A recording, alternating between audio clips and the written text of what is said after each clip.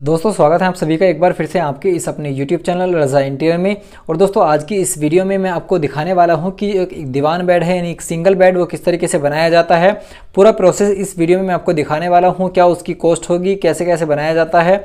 तो पूरा इस वीडियो में आपको दिखाने वाला हूँ। तो दोस्तों, इस वीडियो को लास्ट तक देखते रहना। दोस्तों, ये जो दीवान बेड है, ये पूरा प्लाईबोर्ड से तैयार होगा तो पूरा इस वीडियो को आप लास्ट तक देखते रहना।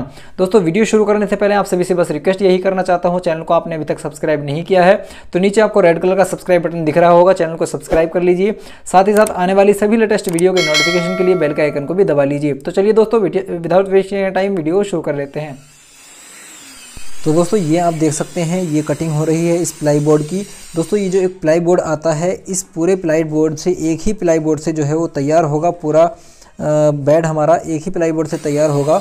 अब मैं आपको बता देता हूँ कि जो हमारा दीवान बेड जो तैयार होगा, उसकी लंबाई और चौड़ाई कितनी होगी। दोस्तों, उसकी लंबाई होगी आपकी छः फुट और जो चौड़ाई होगी, वो होगी दोस्तों तीन फुट। ठीक है? छः बाई तीन का हम ये दीवान बेड बनाने वाले हैं। तो इस वीडियो को आप लास्ट तक देखते रहिए। अब दोस्तों मैं आपको बता देता हूँ जो हम इसकी ऊंचाई रख रहे हैं आप देख सकते हैं जो निशान लगाए जा रहे हैं वो 16-16 इंच पर जो है वो निशान लगाने हैं आपको ठीक है? 16 इंच इसकी हाइट रखनी है।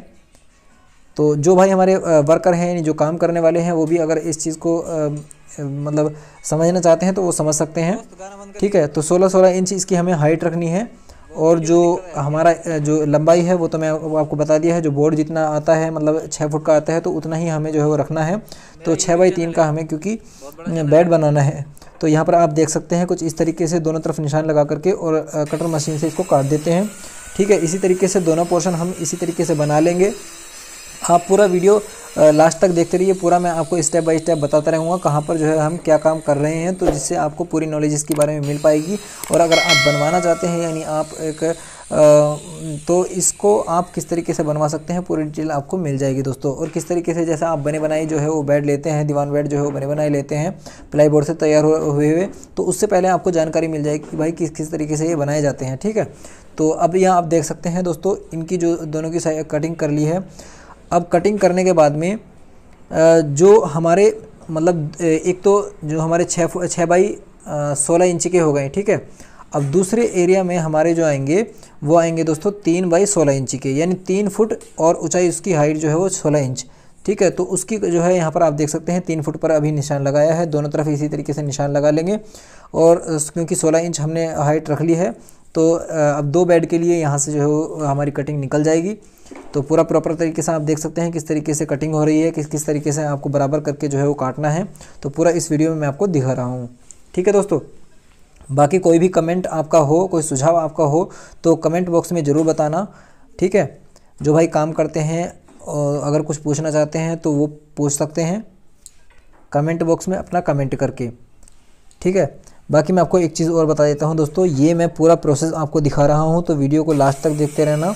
कोई भी स्टेप मिस मत मिस मत करना। अगर इस, कोई भी स्टेप मिस करेंगे तो शायद से कोई जानकारी आपसे छूट सकती है तो इसलिए वीडियो को लास्ट तक देखते रहना। अब ये हमने दोस्तों छोटे वाले पोर्शन काट लिए हैं, जो बैठ के हमारे दूसरी ओर के पोर्शन आएँगे तो उसी उसको हमने काट करके अभी एक जगह हम रख लेंगे। उसके बाद हम जो है, दोस्तों, हमारा जो नीचे का एरिया होगा, यानी जिसमें हमारे जो बेड के पाए हैं तो उनको लगाना है तो उस पर अभी निशान लगाना है हमें, ठीक है? तो ये आप देख सकते हैं।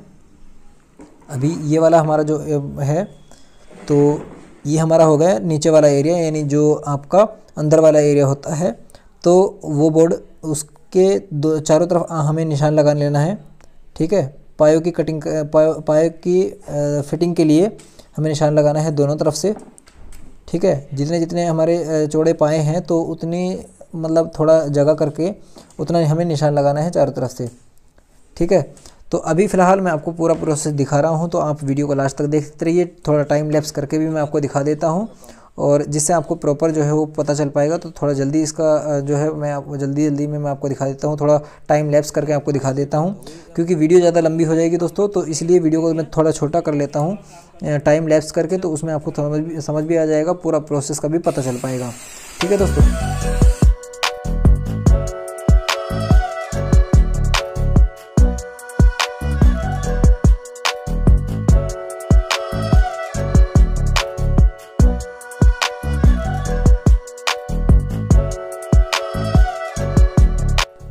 दोस्तों, अब ये आप देख सकते हैं, जो पाए हैं, उन पर रंधा लगाया जा रहा है, ठीक है?